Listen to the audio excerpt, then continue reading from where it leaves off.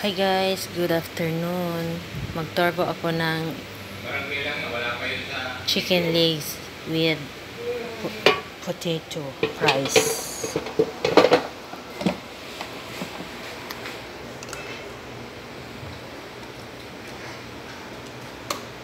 Torbo.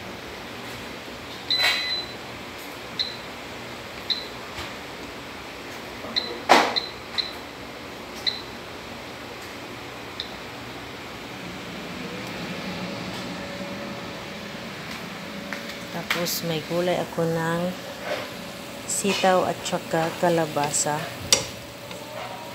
For lunch. This is for lunch. Tapos may bulalo ako na baka.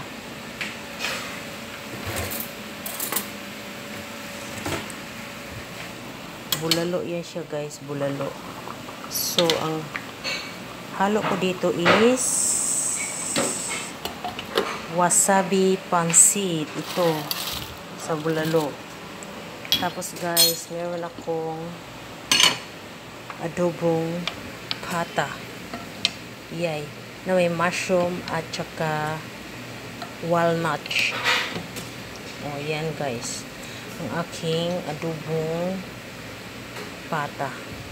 So yan lang guys ang aming tanghalian ngayon Thank you for watching. Don't forget to subscribe, like and share. Bye bye bye. Marami pa palang saging kami. Namili ulit papaya, suwa, saging, may mangga fresh, bagong pitas at kam may sinaing na palang kamote. Yan lang guys. Bye bye bye.